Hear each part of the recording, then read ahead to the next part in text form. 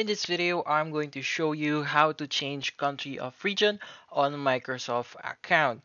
So right now, the first thing that we have to do is to go to Microsoft.com and go to your uh, profile here and log in.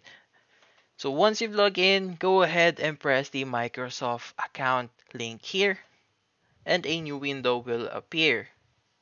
Go ahead and press your info tab here and you'll be able to see your profile info and the country of region. So go ahead and press the country of region. And from here, you can change your region to whatever country that you want to set it for.